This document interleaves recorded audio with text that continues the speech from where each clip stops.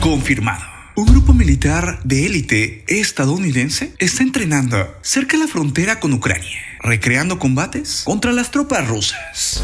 Hace unos momentos, varios medios de comunicación han confirmado la noticia.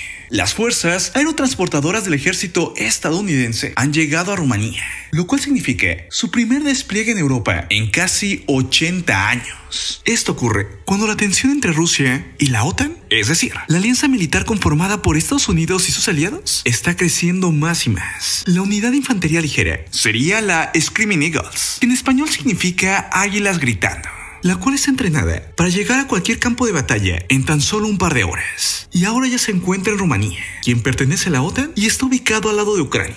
Es así que real. Fuerzas estadounidenses están desplegadas a pocos kilómetros de la frontera con Ucrania. Ahora bien, el general de brigada John Lubas aseguró que están preparados para defender cada centímetro del suelo de la OTAN. Es así que las tropas estadounidenses han comenzado a hacer prácticas y ejercicios junto con las tropas rumanas en Rumanía, desde asaltos aéreos hasta tácticas terrestres. Incluso están utilizando tanques y fuego de artillería real. Y es que su simulacro pretenden crear batallas que pudieran tener con tropas rusas. El comandante estadounidense del equipo de combate de la segunda brigada ha dicho lo siguiente. Los estamos observando de cerca a los rusos. Estamos construyendo objetivos para practicar contra ellos, replicando exactamente lo que está sucediendo en Ucrania. Somos la unidad estadounidense más cercana a la lucha en Ucrania. Ahora bien, los comandantes estadounidenses pertenecientes a Screaming Eagles aseguró que están listos para pelear en cualquier momento del día, incluso por la noche, y que se encuentran en Rumanía para defender el territorio de la OTAN. Pero si fuera necesario, están preparados para cruzar la frontera con Ucrania.